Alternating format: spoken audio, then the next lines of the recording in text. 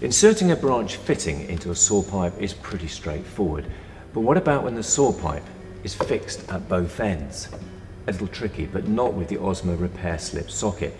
As you can see, it's called a slip socket because there's nothing inside it to stop the pipe travelling through, so we can slide it up the pipe, helping us to get the branch in place. Let's show you.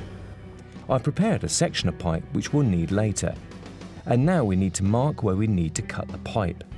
So let's place the branch on the pipe where we want it. Mark that, including the depth of socket. This pipe will be inserted into the end of the branch, and follow that down, and that's where we need to cut the pipe. Okay, so these are our two marks indicating the section of pipe we're removing.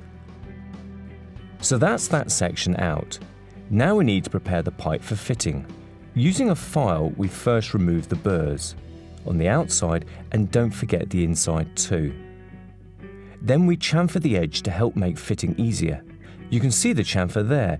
It's a bit tricky getting around the back, but worth the effort.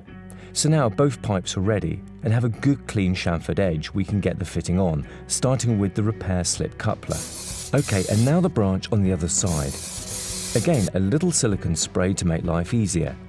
And push that into place.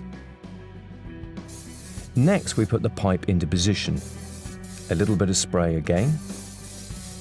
This can be a little awkward, but you'll get there.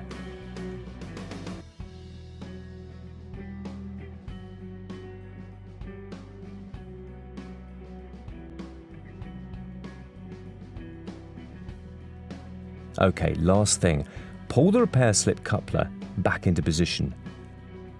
Mark it so the couple sits centrally between the two ends of the pipe. And that's it.